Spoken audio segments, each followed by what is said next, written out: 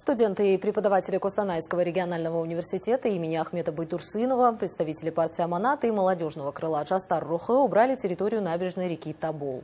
На экологическую акцию «Таза Казахстан» вышли 60 человек. Вооружившись граблями и метлами, молодежь собрала прошлогодний мусор, сухие ветки, пустые бутылки и отходы, оставшиеся после отдыхающих.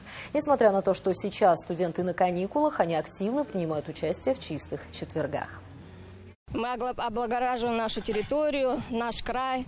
Э, мы уверены, что э, нас поддержат многие казахстанцы.